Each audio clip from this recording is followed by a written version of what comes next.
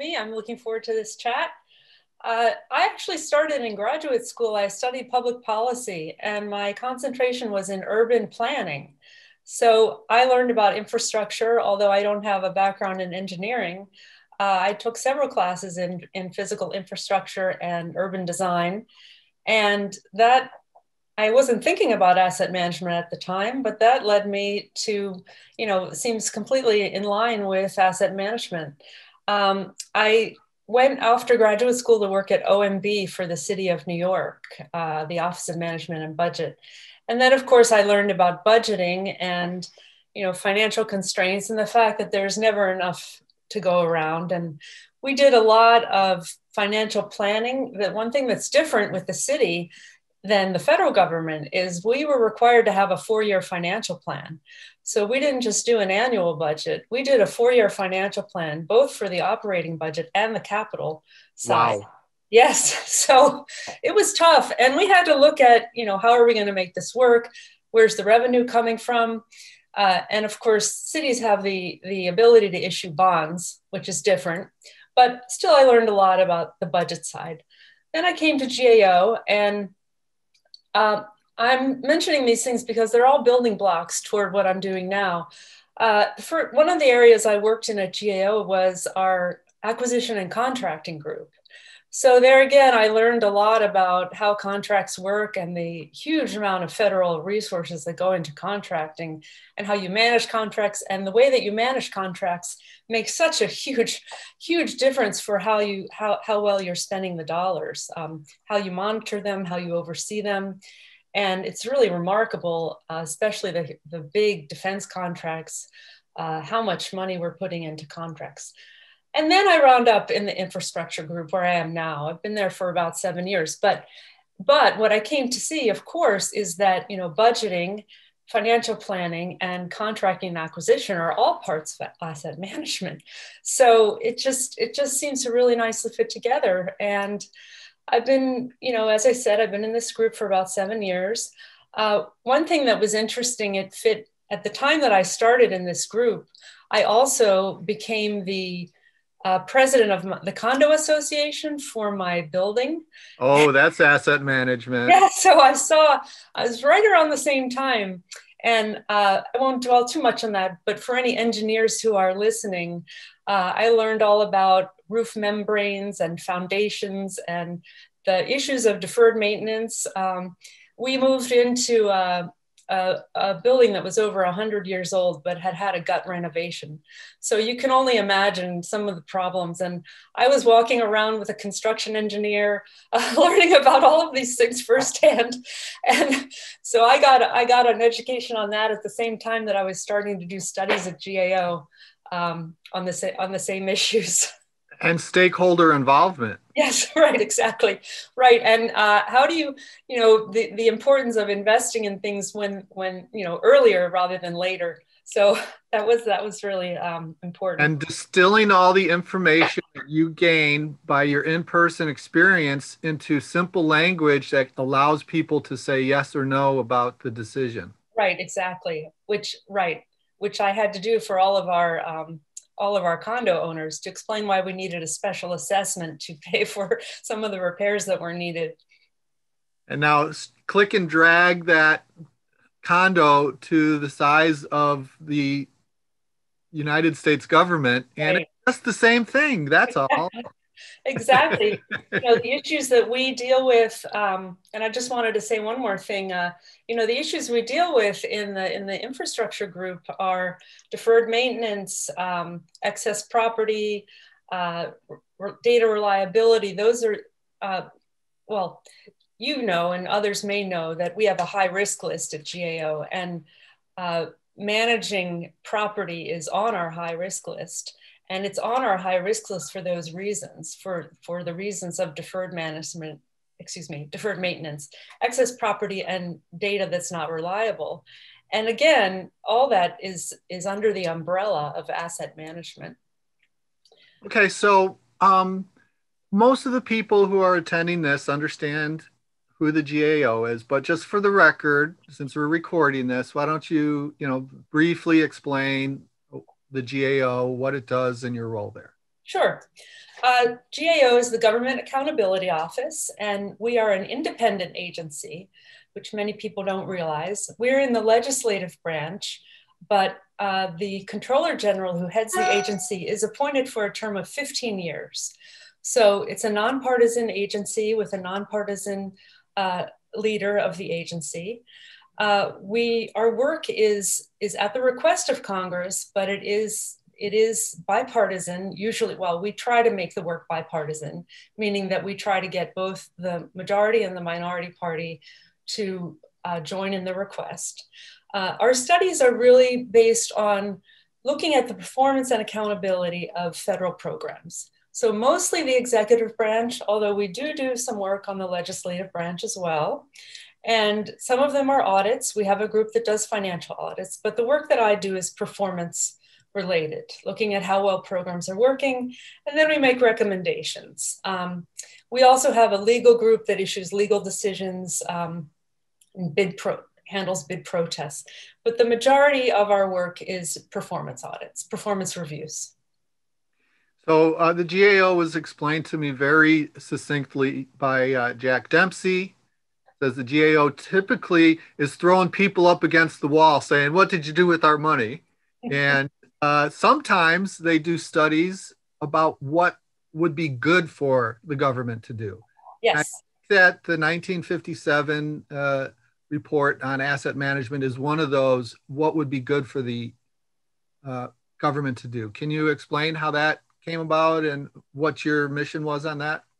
Yes, uh, that that report is one that we're uh, um, really really glad that we did. Uh, we looked at um, asset management in terms of a, a broad approach to to infrastructure and managing assets, as I was mentioning a little earlier. And the ISO 55000 standard that some people might be interested in, uh, or know, I'm sure some people who are listening already know about it, but the, we developed a framework, and the framework is based mostly on the ISO 55000 standard. And it has to do with um, not managing individual assets, but having a broad approach to asset management. Um, what we did is, well, how we came to do that is that, as I mentioned, many much of our work is focused on aspects of asset management.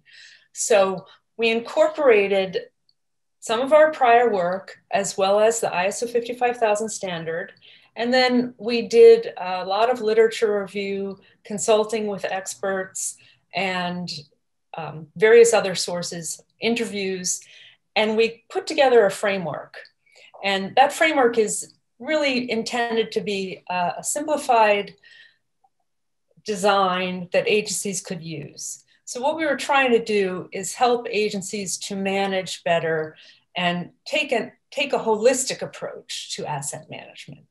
Yes. So, there were these resources out there, you know, ISO 55000 and various other standards, but we wanted to put it together in a way that would be readily accessible and available to agencies.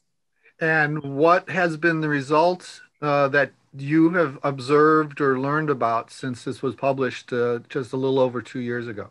Yes, well, already, you know, things take change takes time in government, as I'm sure you know, mm-hmm. and we don't expect immediate results. But already, uh, we've been really surprised and pleased to see that agencies, some of the large federal departments, have already incorporated this framework into their asset management plans and into their capital planning.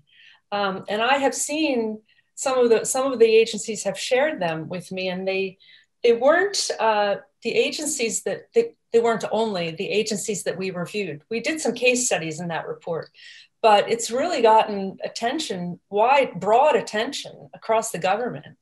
Um, maybe perhaps in thanks to your conference where I presented the report. Uh, but it's just wonderful to see that agencies are paying attention to it and even if they haven't adopted an entire framework, they are looking at the elements of the framework and they are trying to improve in the, the areas that the framework touches on, for example, quality data. Mm-hmm. That came out in fall of 2019. Uh, November of 2018. So 2018. Years, just okay. over two years. Okay. Um, right. And then what we saw last year at our forum was uh, agencies publicly stating that they are using it, and I don't think they would be. They what we've been presenting since 2015, 14, um, and nobody was really saying ISO 55000. But I think your report gave people cover, you know, and say we're doing what the GAO is is you know pointing us to. So that's uh, pretty good. Can you share any of the specific agencies, or is that uh, uh, private information? No, I think. Well, I think they're they would be glad to to say. I you know the Department of Homeland Security has incorporated, and I think they even mention our our framework in their asset management framework. They have a fairly robust. Uh, asset management framework. And you know that's a huge department with so many different components. That is a, a really remarkable that they have a, such a robust asset management plan. And uh, the department of state for their civil uh, civil civilian um, domestic uh, assets. Uh, yes. international assets are different obviously. Um, but for their domestic assets, they have done the same and they have followed our framework. Uh, so those are two huge agency departments that have, have really done a nice job. And I know the U.S. Army Corps of Engineers had been looking and you know basing much of their actions on ISO 55000, but it wasn't until last year that they say they're actually doing an ISO 55001 strategic asset management plan. So they're right, right in that too. So um, that led to, well, it didn't lead to other uh, reports, but you've done other reports. And with the uh, foundation of information you have from that, um, some recommendations were made. For example, the, the FDA mm-hmm. report that came out last fall recommended that uh, asset management could address some of their issues. Right. We did. Uh, we did a report on the FDA on the centers, um, a few centers at the FDA that focused largely on personal property um, because the FDA doesn't own its, well, it's the FDA's real property is, is the space that it uses, which is actually GSA space, but its mm-hmm. personal mm-hmm. property is what we looked at, um, which for people who, well, just for some examples, it's lab equipment, um, uh, technology and some of the huge uh, things that they need to do their research, like you know freeze freezers and uh, things for for the medical, you know, the testing that they do. Uh, and uh, what we found is that they really did not have good um, any kind of good systems in place for quality data maintaining quality data, and for formal plans and policies, which are two elements of our asset management framework. So we did make several recommendations to them. And that's particularly important because, you know, the FDA, well, you may not know, people may or may not know, that the FDA relies on fees uh, from the applications to fund much of its operations. Uh, and they're in the process of renegotiating those fees. So they may that may change the amount of fees they get may change which mm. means that they're going to really have to carefully manage the the funding they get and and have good systems in place for how they account for their equipment and how they use it and how they decide on what their needs are mm-hmm. so that was one area where we applied it and um, I'm currently working on, if I can talk a little bit about our current work. That was going to be my next question. So go right ahead. Yeah, I'm really excited about our current work, which is related to natural disasters. And we are applying the framework to see how agencies are incorporating, or whether they are incorporating um, natural disasters or resilience, what we're calling it resilience to natural disasters, into their asset management planning. And you know, during the last year, there's been such a huge, well, there's a trend, but one thing we saw in 2020 was the largest number of hurricanes and extreme weather events that I think in history or in recent history. So it's, we know that climate change is happening and it's becoming more and more common. Uh, so the, I think that this report is going to be very timely. Uh, what we're looking at is to see whether and how agencies have incorporated the asset, the natural disaster resilience into the framework. And one of the key areas, well, quality data is of course always a key area. The other one is maximizing uh, the portfolio's value, which is one of our key key elements. And you know, you have to be sure that you're putting your dollars into an asset before it's too late, right? You don't want to wait for something to collapse, which does happen during disasters, and then it's an emergency and you need emergency funding, which the federal government does provide a lot of disaster relief funding. Uh, mm-hmm. through emergency appropriations, but that's not what you want. You want to prevent. You want to put into prevention so that building doesn't collapse when you have, or to the to the extent that you can. You know, some yeah. disasters are more serious than others, but um, damage in areas where you know there are going to there's a greater likelihood of hurricanes or wildfires, as we've seen. Uh, you want to be prevent do prevention, as they say. You know, fix it first. Um, so that that's I think that's what we're looking at and i think that's going to be really really interesting. I'm really looking forward to that report. Are there any uh, particular agencies you're looking at or any asset types or? We're looking well we're focusing on real property. And okay.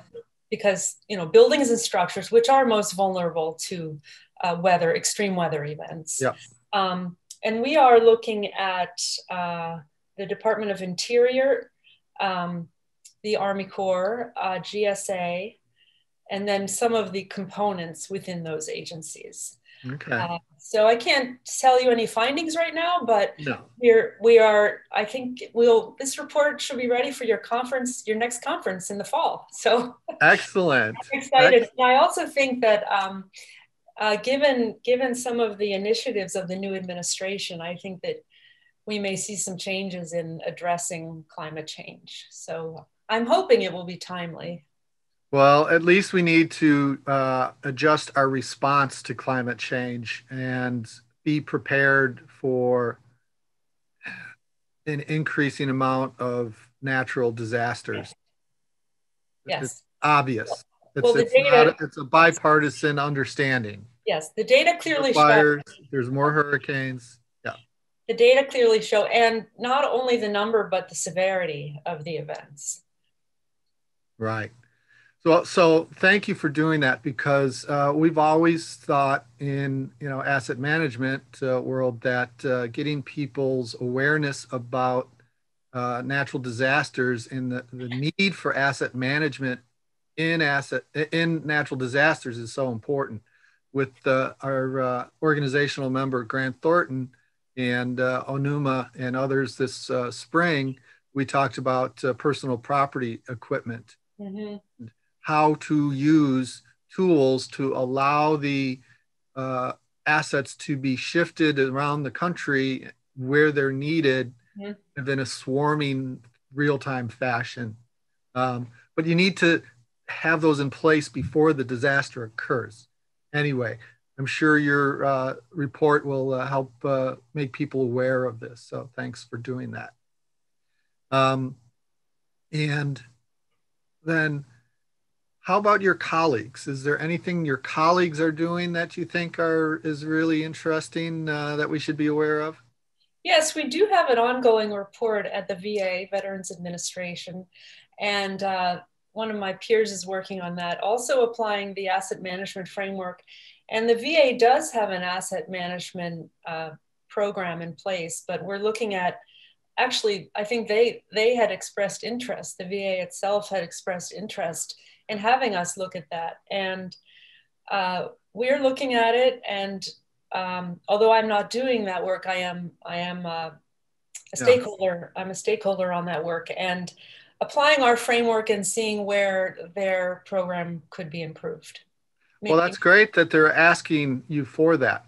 Um, and uh, going back to the FDA report, I remember you saying that when it was presented to the FDA, they were in agreement with some of your of the findings. Is that correct? Yes, yes. Well, we do make recommendations. I I think I mentioned that, but we we know things don't happen quickly and we do have agencies have 3 years to we, we monitor and we give agencies three years and we close the recommendations in, in year four.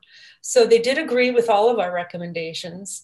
And we try to phrase the recommendations or, or um, present them in a way that the agencies will be able to implement them within within the time frame. So they should be making progress on those. It hasn't been long. We issued that report in September, and um, three months. We don't we don't expect to see things happen that quickly, but they are working on them, and they definitely agreed that they would be implementing them. Okay, so now we have questions, and we actually have somebody uh, raising their hand. Uh, Rich Culbertson, uh, I saw you raise your hand. It would be best if you uh, in, uh, use the chat or question and answer, uh, and we'll get the question to Amelia.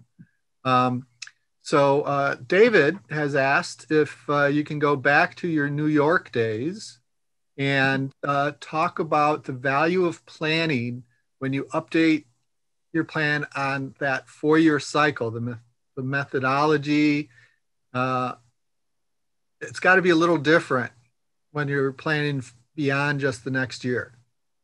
Any uh, insights on how those two vary? Yeah. Yes. Well, yes. Uh, it, it's different in the operating budget and the capital plan, obviously. Uh, but I'll, I'll speak to the, well, both are relevant for asset management. In the operating budget, you may know of program changes that are coming up. Uh, for example, you may know that a program is going to start in a couple of years. You look at the agency's plan. So we work at OMB, we worked very closely with the agencies so we could know what they were doing and then we would build that into the financial plan. Mm-hmm. And then it's a four year financial plan and it's adjusted every year. So each year when we did the, the budget for the fiscal year, for the next fiscal year, we would update the financial plan. The capital budget is, of course, based on a capital plan, mostly construction or um, rehabilitation, uh, you know, of major rehabilitation of buildings. But even mm-hmm. still, you know what construction is is coming is you you know the agencies have to have a, a, a capital plan for construction has to be planned, obviously. So we would do the same. We would build that in. And that was a longer plan. We actually had a 10 year capital plan um, because, as you know, construction is long term and, and, and has to be, um, you, you start design and, and each step um, uh, long before you actually start construction. But the basic answer is we knew what the plans were and we would build that in if new programs were starting or uh, on the on the other hand, if programs were ending, we could we could take them out of the budget, things like that. Okay, I think that answers uh, what uh, uh David had uh, asked. Um, then we've got uh, Bob Leach asking, does the upcoming GAO report on resilience address planning, design, construction, and operation and maintenance of existing or new infrastructure to increase its resilience, or does it focus only on the application of resilience, uh, spe- specifically on recovery from those events? Oh, well, actually, we're not looking at recovery. We're looking only at, at the, the planning.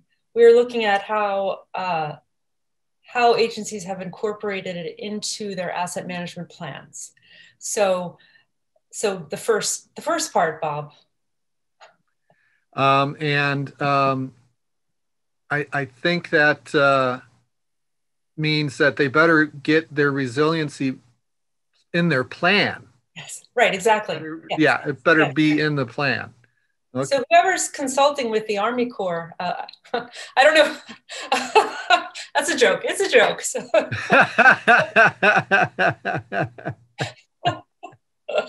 I am sure Bob is laughing too. Uh, I don't know if we have anyone from the Army Corps listening, but um, so Amelia, Richard Culbertson asks, uh, do you use the Green Book? well, GAO uses the Green Book. Yeah. yeah. Okay. Right. That the Green Book is on internal controls. I don't know if everyone knows what the Green Book is, but yes, the Green Book is is authored by GAO, and we use it in our audits if if applicable. It's on uh, internal control standards. Okay, so you do use it internally in addition to applying its principles in your reports and studies of yes. others' activities. Yes. So, uh, uh, Rich is on to something in terms of having uh, uh people uh, adopt asset management in order to meet the requirements of the Green Book, because basically the Green Book says you have to manage your assets and doesn't say how, but mm-hmm. so 55,000 structures allows people a way to meet the requirements of the Green Book. Right. In, yes. In some ways, that's a longer conversation, but yes, yeah. in, some ways, in some ways it does. In some ways, right. Yeah. So then uh, we have um, how do you manage uh, from Cecilia Mowat? How do you manage stakeholder involvement in accordance with ISO 55000 when you are looking at performance reviews? Um, do you look at customer satisfaction and equality of service delivery? Who might be impacted by the underlying assets program you are reviewing? You mean performance reviews within the agency, I'm guessing. Yes. Well, yeah. I'm guessing.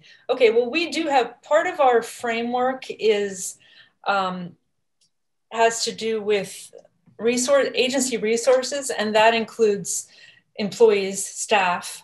Uh, so that is is that would be part of that element of our framework, uh, where the performance evaluation aspect would take into account how well the employees are are implementing asset management. There's also a leadership component. I don't know that I can really explain that whole piece right now, but the leadership obviously have a role in how they're managing resources and and training staff or employees to implement asset management. So it's a shared responsibility. It wouldn't only I don't think it would be fair to only hold the employees accountable in their performance evaluations. Okay, thank you very much. Oh, and good timing on the answer of your question. Thank you, Amelia. I could see the time was almost 4:30, so. Um, well, thank you so much, Amelia. Um, before people get off here, I just want to quick flash our uh, sponsor slide because, again, without these patron members, ABS Group and Onuma, as well as our organizational members, uh, this production would not be possible. So just want to thank these organizations for participating in the Asset Leadership Network and supporting us. Uh, and one more thing, next week we have Bill Garrett on February 4th, 4th Thursday. It'll be at 4 p.m. Eastern, just like this uh, production. And we hope everyone can join us then. Um, and with that, I don't know if there's more questions, Mike, but I'll pass it back to you guys. This has uh, been a very uh, precise and concise presentation. Thank you very much, Amelia. Uh, if you would like to uh, say anything, I'll let you have the closing words. Well, thank you. It's my pleasure. It's it's really been really interesting doing this work on asset management, and we're building a portfolio. I'm looking forward to more work uh, after we complete this climate change, uh, natural disaster resilience report. And uh, I look forward to presenting at your conference in the fall. Excellent. We look forward to it. Uh, thank you again for everything you do. My pleasure. Thank you.